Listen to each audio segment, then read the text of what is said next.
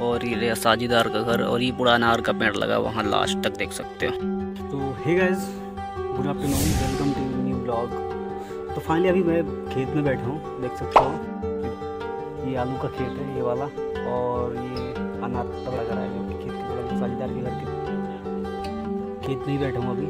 और ये खेत है आलू का। और मैं बता दूँ कि भाई, आज मैं आलू काटने आया था। अभी अकेले हूँ, एक बार मैं बैठ कर दिखाता हूँ। तो ये आलू है पूरी भाई, इधर की।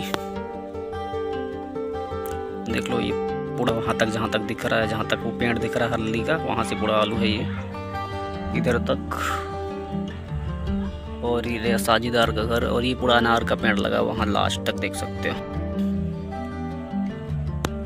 मम्मी भी आई थी खेत में तो मैंने तुम्हारी आ कि भाई आप रहने दो, मैं थोड़ा बहुत करता हूँ उनकी तबीयत ख़राब है पहले से, और ख़राब हो जाएगी तो प्रॉब्लम हो जाएगी।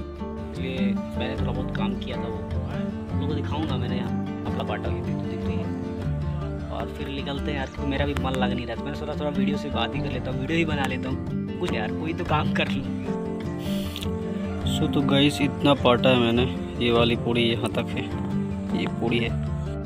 आठ दस कूला है बस तब बटी है। सो तो यार, काम वगैरह हो गया जितना करना था। अब देखेंगे नेक्स्ट दिन देखेंगे क्या होता है। दूसरे दिन मतलब आएँगे तो पाटेंगे थोड़ा बहुत। और अकेले यार मनी कितना लगता है काम वाम करने के लिए। तो अभी जा रहे हैं घर साइड अभी गेहूँ दिख रहा है आप लोग को। इस ब्लॉग में इतना ही। मिलते हैं किस ब्लॉग में। तब तक के लिए बाय और एक बार खेत दिखा देता हूँ। अभी खेत देख सकते पूरा उजड़े चमाइदार की गन्ने में कट गया। थोड़ा सा पाँच। तो गाइस इस ब्लॉग में इतना ही मिलते हैं।